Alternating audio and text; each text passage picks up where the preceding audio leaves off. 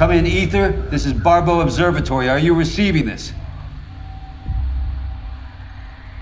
Is anyone out there? This is Aether. Does anyone copy? We're not receiving anything. That puts our last contact with Mission Control at. Three weeks. Why is it so quiet? That's Aether. It's a spaceship that we hoped would be our future. I have to warn them about the conditions on Earth. I don't know all the details. It started with a mistake.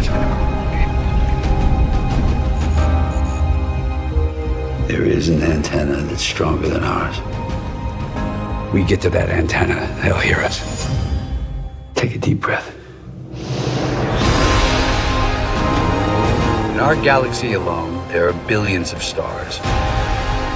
At least one of them has the potential to support life.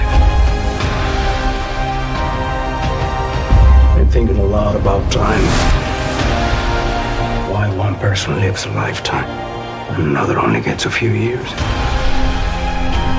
We made a promise to our families. You want to be an explorer. Cut to my voice! But while you're doing all that, your own life is just slipping away. That's why I have to contact them.